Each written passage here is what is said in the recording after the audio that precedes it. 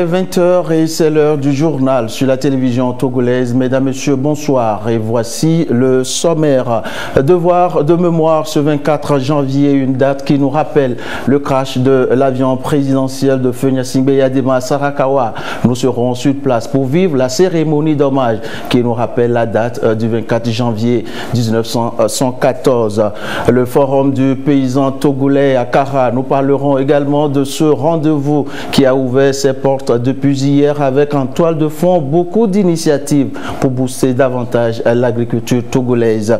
Et puis en fin d'édition, nous parlerons de ce couple mythique malien qui fait danser plusieurs générations. Amadou et Maria Malomé donnent ici un avant-goût de leur spectacle. Restez alors avec nous pour en savoir sur le concert.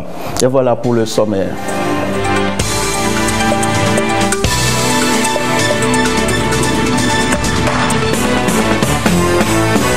La TVT au cœur de l'information.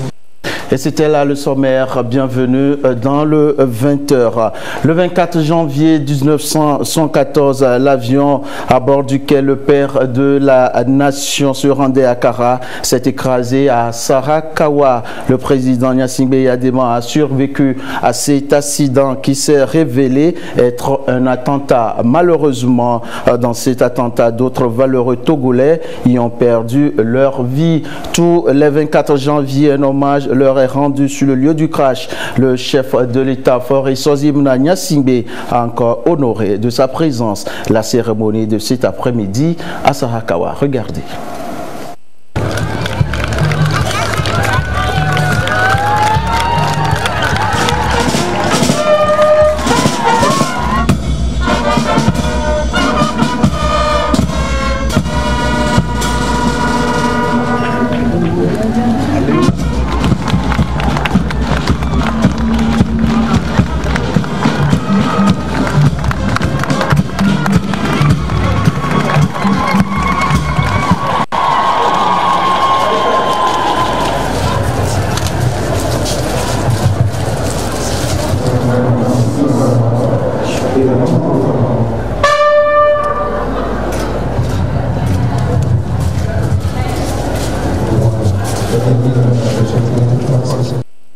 Y reviendrons sur le sujet dans le courant de cette édition. Et si tout va bien, pendant ce temps à Lomé, l'instant était également au recueillement à la place des martyrs pour honorer ceux qui ont laissé leur vie pour que vive la nation togolaise. Augustin Corsi pour nous faire vivre la cérémonie d'hommage à Lomé.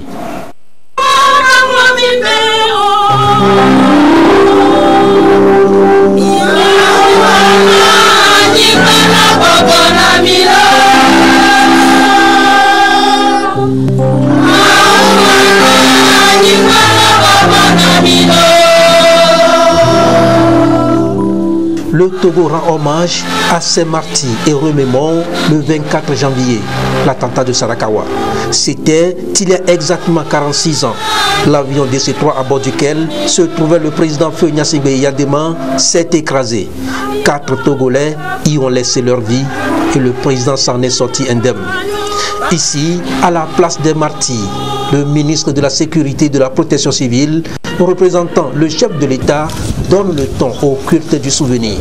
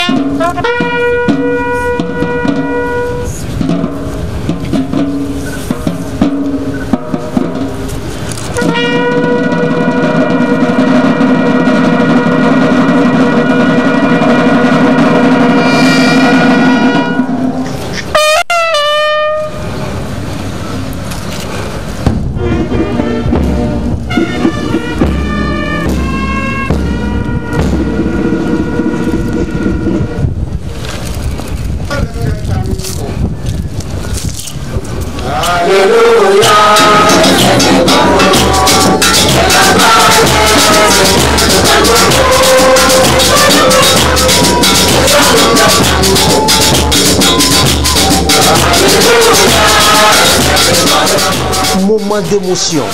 Autorités politiques, administratives, militaires et civiles, tout le peuple est représenté pour que vive la mémoire de tous ceux qui ont payé de leur vie le fruit de l'indépendance économique.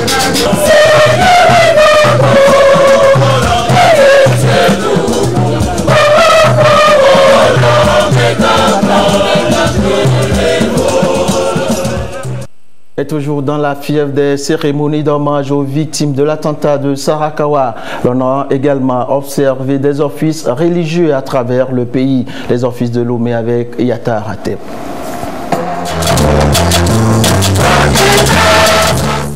Les Togolais élèvent leur voix vers le Créateur, ils implorent la grâce de Dieu et prient pour le repos des âmes des compatriotes disparus dans l'attentat de Sarakawa le 24 janvier 1974. Un attentat déguisé en accident d'avion et qui a failli coûter la vie à feu président Yazimbe et Yadema. Et ce 46e anniversaire est un appel à l'espérance. Bien-aimé, le 24 janvier de chaque année, doit être une journée où nous devons cesser critiques et insultes. En effet, des mots durs, des insultes ou des critiques proférées par des personnes que nous chérissons ont beaucoup plus d'impact sur nous que ceux issus de personnes ordinaires il est vivement recommandé de parler directement à la personne concernée et de lui expliquer clairement et sincèrement ce qui vous a énervé ou blessé. Oui, être tolérant et accepter l'autre tel qu'il est, c'est le message des différents officiants qui ont surtout appelé à la paix et à la responsabilité des hommes de Dieu à œuvrer pour sa pérennisation. L'Église est apolitique et s'interdit toute activité visant la conquête et l'exercice du pouvoir. La religion ne doit jamais être utilisée à des fins politiques pour nourrir un conflit, mais pour construire un pont de dialogue et de paix entre les parties belligérantes. Dans une prière, ils ont tous demandé à Dieu de protéger les autorités togolaises et surtout de donner la paix au Togo en cette période électorale. Oh Allah, nous te prions de réaliser le meilleur des requêtes du peuple togolais. Celle de le réconcilier avec lui-même. Seigneur Allah, inspire, éclaire et guide nos dirigeants dans toute leur démarche à mieux faire davantage pour le peuple togolais. Un coup isolé n'arrête jamais le combat, avait dit feu président Nyazimbe Eyadema, sorti miraculeusement indemne du crash. Dès lors, le Togo va plus que jamais se tourner vers son indépendance et son essor économique. L'actualité au plan national, c'est aussi l'ouverture à Akara du Forum national du paysan togolais, un rendez-vous annuel voulu par le gouvernement pour échanger et trouver des mécanismes pour booster davantage les productions agricoles. La cérémonie d'ouverture avec Nessom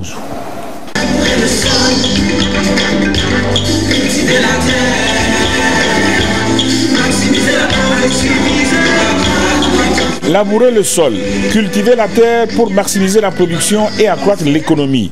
C'est la quintessence du message que véhicule la chanson. Et c'est justement ce que les différentes réformes intervenues dans l'agriculture togolaise visent. Le Forum national du paysan togolais figure au nombre de ces réformes. Ce forum, qui a sa douzième édition, constitue un cadre de dialogue entre producteurs, services techniques, partenaires et décideurs sur les enjeux et les défis du secteur. Il n'est plus question de produits pour le ventre, mais il est question de produits pour le marché. Parce que quand nous voyons le programme national de développement, il est question de produits et de créer d'emplois. Par rapport aux chaînes de valeur, il n'est plus question seulement d'être au four au moulin, mais il faut se spécialiser, il faut se professionnaliser, il faut faire la différence, il faut produire quantitativement et qualitativement. Donc déjà s'attendre à des signatures de contrats. Donc il n'est plus question de produire avant de penser à où vendre.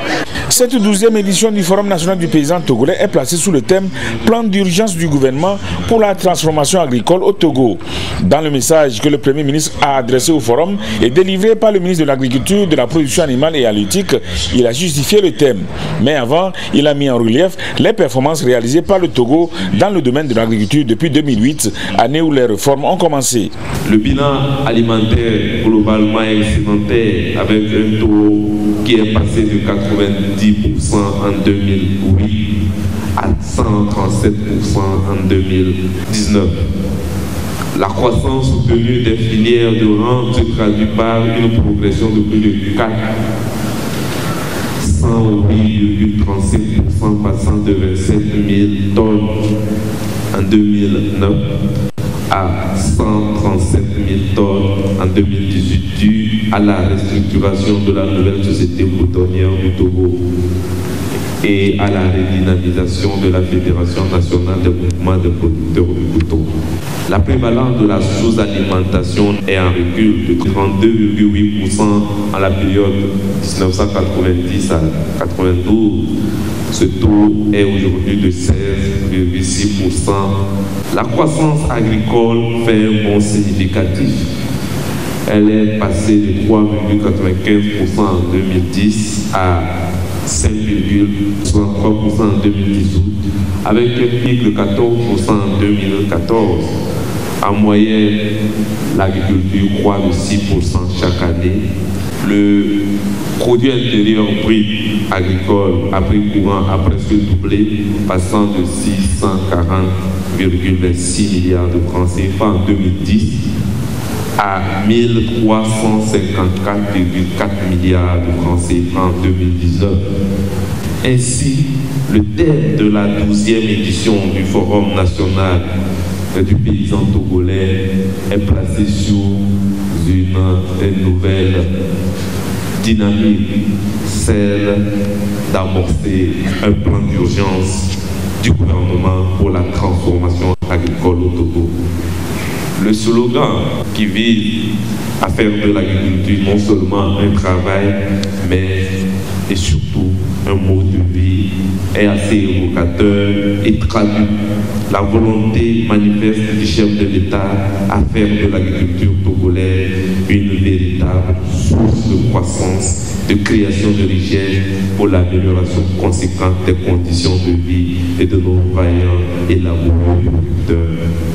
Pour y parvenir, selon le message du chef du gouvernement, il s'agira principalement de poursuivre l'appropriation et la mise en œuvre des différents chantiers engagés dans le cadre du plan national de développement devant permettre de tripler les rendements et les revenus des petits producteurs d'ici à 2025 et assurer une production tout le long de l'année, de promouvoir la transformation des produits agricoles avec des labels de qualité ainsi que d'assurer la traçabilité. Au chapitre agriculture toujours, on vous annonce également l'ouverture à Cara de la foire agricole, une plateforme où sont exposés tous produits agricoles transformés ou non. Les détails dans ce reportage de Nestor Mouzou. Elle se tient chaque année en prélude à la grand-messe du monde agricole, communément appelée Forum national du paysan togolais. La foire agricole a ouvert ses portes à Cara. Plusieurs stands ont été dressés pour permettre aux producteurs et aux transformateurs d'exposer les produits issus de leurs activités. De même, les fournisseurs sont venus avec du matériel agricole. La foire agricole est un carrefour d'échange. Elle donne l'occasion aux exposants et aux visiteurs de faire des affaires. Le chef de l'État a initié un cadre de dialogue direct entre lui et le monde paysan, comme vous le savez, qui est le monde le plus important en termes de proportion de la population active. Et chaque année, le Forum national des paysans qui est par décret présidentiel est organisé dans une des localités. Nous l'organisons cette année à Cara et en marge de ce forum, il est organisé une foire qui permet aux paysans, aux jeunes entrepreneurs et aux sociétés partenaires de venir exposer leur savoir-faire, les produits et toutes les innovations en matière technologique agricole et les services liés au secteur agricole pour que tout le monde découvre quelle est l'évolution du secteur au niveau du Togo. Outre les producteurs et entrepreneurs agricoles, les institutions qui accompagnent le monde rural, dont le mécanisme incitatif de financement agricole, MIFA, participent à cette foire pour donner des informations sur les conditions à remplir pour avoir accès au crédit. La foire prend fin le 25 janvier, en même temps que le Forum national du paysan togolais. Le plan national de développement et sa politique de mise en œuvre pour être au rendez-vous de 2022, le gouvernement, à travers le ministère en charge de la planification et du développement, multiplie des actions pour mobiliser tout ce qui sera nécessaire pour un PND réussi. Le résumé de la rencontre des acteurs ce matin avec Ramdan Bassina. Pour l'atteinte des objectifs du plan national de développement, la mobilisation des ressources publiques et privées reste un impératif. Comment mobiliser à temps? La question préoccupe tous les acteurs impliqués. À court terme, il s'agira de proposer des actions concrètes devant conduire à la mobilisation et examiner l'évolution des flux de financement. Il est attendu du secteur privé une contribution à hauteur de 65%.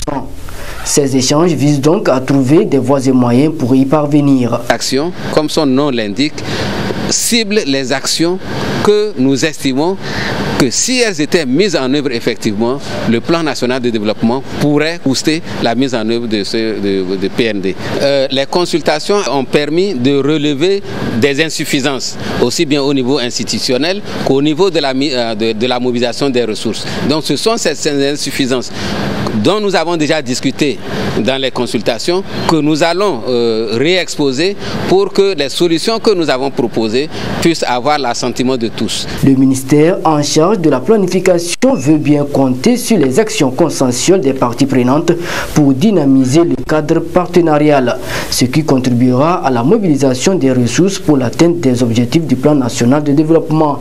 Le programme des Nations Unies pour le développement salue le niveau d'implication de tous les acteurs un signal qui rassure que le plan national de développement est déjà sur la bonne voie. La traite des personnes au Togo et dans les autres pays du golfe de Guinée. La pratique semble être toujours d'actualité. Un projet efficace de lutte a été lancé avec l'expertise de la France et de l'Union européenne. Plus de détails dans ce reportage de Medina Salami.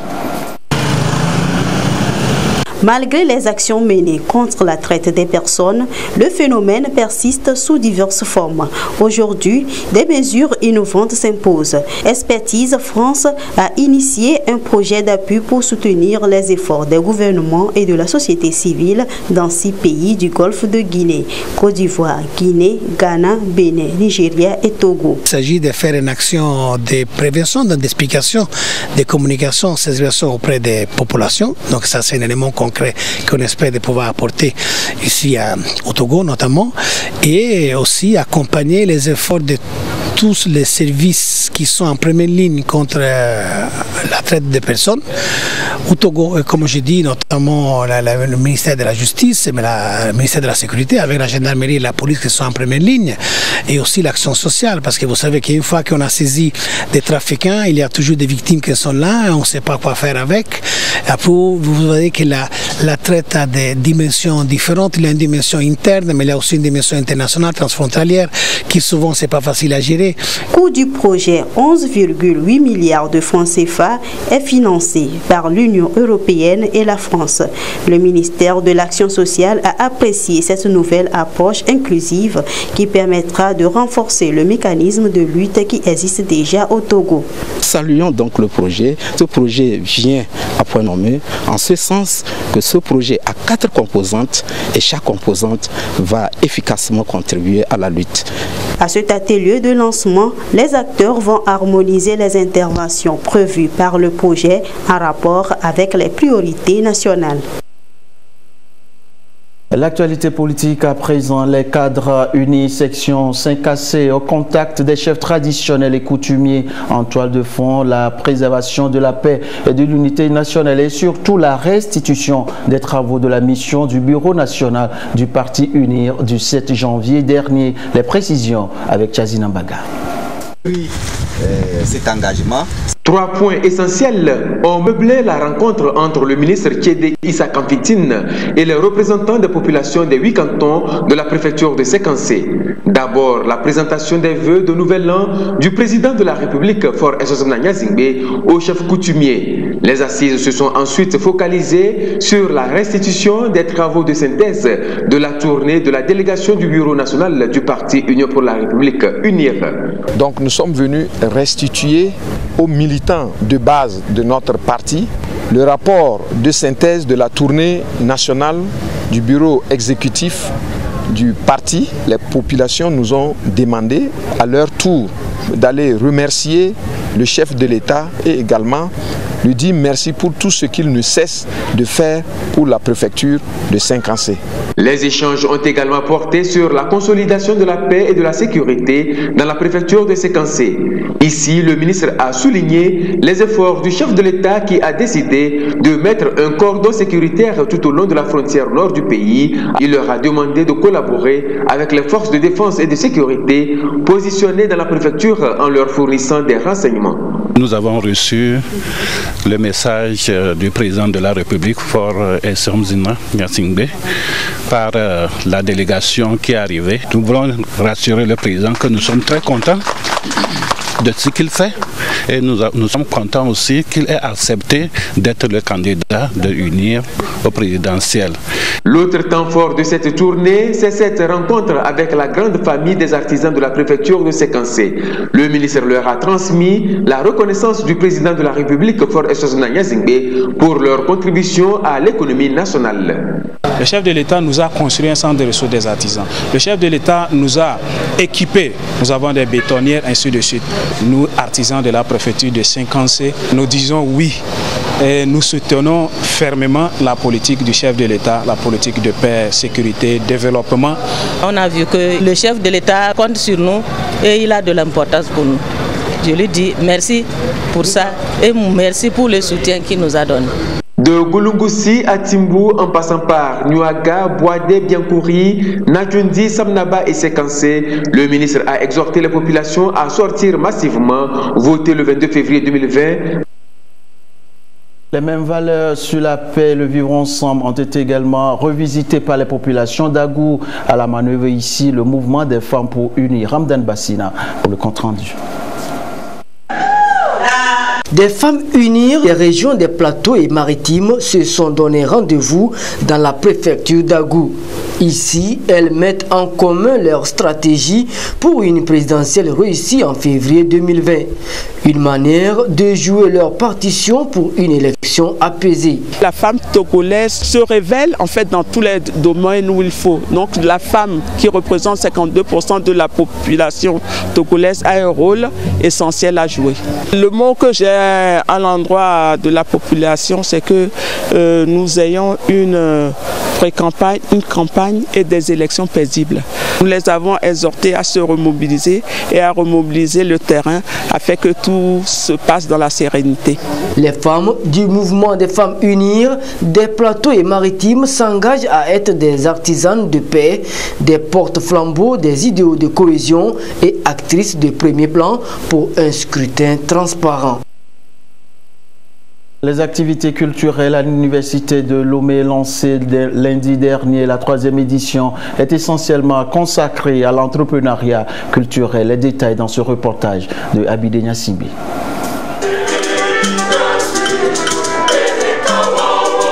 L'Université de Lomé effectue sa rentrée culturelle.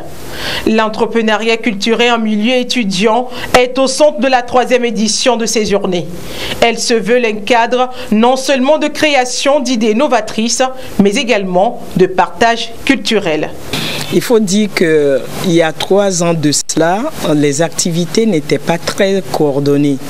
Nous attendons et puis on lance le jocule et chacun arrivait et faisait un peu ce qu'il voulait. Mais on a vu que ça n'avait pas de le résultat escompté. La présidence a décidé que chaque année, on choisit un thème autour euh, duquel euh, vont gravir toutes les activités pendant la semaine délimitée. Spécialement cette année, quand nous combinons la culture et l'entrepreneuriat, vous voyez donc que nous sommes dans notre milieu euh, éducationnel et ces étudiants, nous l'espérons, vont tirer énormément profit de ces activités-là. Pour cette édition 2020, de particularité. Nous avons lancé officiellement la fanfare de l'université de Lomé parce que c'était un besoin inassouvi depuis. Nous avons la chorale de l'université, nous avons le club UNESCO euh, étudiant de l'université de Lomé et beaucoup ont posé la question de savoir pourquoi est-ce que l'université ne se doterait pas euh, d'une fanfare. Nous procédons également au lancement de ce que nous appelons ma thèse en 180 secondes. Et donc c'est un concours mondial et cette année nous avons décidé de faire la culture comme on a l'habitude de le faire dans les grandes universités, où la culture n'est pas une culture populaire, mais la culture se fait à l'université avec la marque de l'université. Et la marque de l'université, c'est de la recherche. Et donc, on met ensemble la recherche et la culture pour faire ce qu'on appelle la culture universitaire. L'université de Lomé, dans le souci de permettre à tous les acteurs de s'épanouir et de développer le génie artistique, s'est dotée l'année dernière d'une scène de spectacle dénommée Bella Bello. D'une capacité de 1500 places, la scène universitaire est destinée à accueillir également le monde extra-universitaire.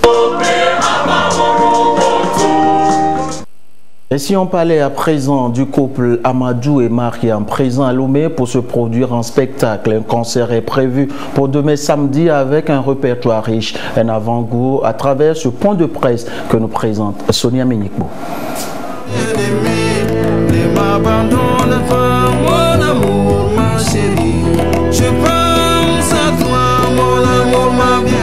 Ils sont à Lomé pour un show dénommé Complète Madingue. Le couple de musiciens et chanteurs madingue Amadou et Mariam est en concert ce samedi 20 janvier à l'Institut français du Togo. Occasion pour le duo malien de découvrir pour la première fois le public togolais, surtout ses fans. Nous avons fait plus de 40 ans de musique. On a décidé de venir un peu voir les autres euh, en Afrique qui n'ont pas l'occasion de nous retrouver. Et c'est surtout cela qui fait qu'on est là pour l'occasion de pouvoir euh, donner satisfaction à nos fidèles euh, auditeurs, admirateurs. On invite les gens de venir surtout. Si les gens sont là, c'est notre essence. Ça nous donne le courage. Donc comme c'est notre première fois de venir ici, euh, donc on va faire le mélange, le bon mélange, les, les anciens morceaux et les nouveaux morceaux. En tout cas, la fête sera belle. Pour l'Institut français, recevoir ce couple star interplanétaire est un honneur pour un dialogue de culture. Une des missions de l'Institut français est de faire dialoguer les cultures. Ce sont de grands artistes qui portent la culture africaine de par le monde. Le message qu'ils passent est un message extrêmement positif, extrêmement enthousiaste. Je voudrais dire à, à tous les Togolais de venir à l'Institut français pour voir Amadou et Mariam. Amadou et Mariam sont des artistes majeurs, ce sont des artistes importants. Ce concert s'inscrit dans le cadre d'une tournée régionale dans trois instituts français dont Cotonou, Lomé et Accra. Les dimanches à Bamako, c'est les jours de mariage. Les dimanches à Bamako, ce communiqué du ministre de la Santé et de l'Hygiène publique à présent des cas d'une maladie des poumons due à un virus grippal appelé coronavirus sévissent actuellement en République populaire de Chine. Ceci a amené l'Organisation mondiale de la santé à demander ce 23 janvier 2020 à tous les pays d'être en alerte. Il s'agit d'une maladie très grave, hautement contagieuse et mortelle. Elle se transmet à une personne par contact avec les sécrétions nasales et les gouttelettes de salive émises par la toux ou les éternuements d'une personne malade. Selon l'OMS, la maladie proviendrait des fruits de mer. Elle se manifeste comme la grippe ordinaire par une fièvre brusque accompagnée de plusieurs autres signes tels que mal de gorge, tout difficulté respiratoire et écoulement nasal, fatigue intense, maux de tête, douleurs musculaires.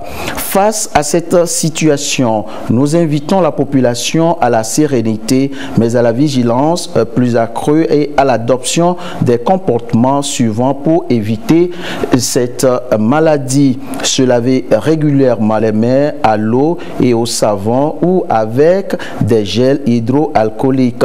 Se protéger si possible la bouche et le nez avec une bavette. Se couvrir la bouche et le nez avec un mouchoir ou avec le creux du coude avant de tousser ou d'éternuer.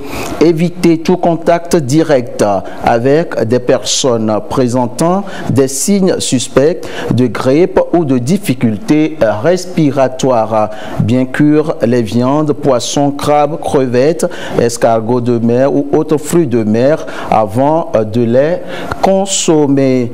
Devant toute suspicion, informer le personnel du centre de santé le plus proche pour une prise en charge rapide et adéquate. Des dispositions sont prises au point d'entrée aérien, terrestre et maritime pour surveiller les voyageurs provenant des zones touchées.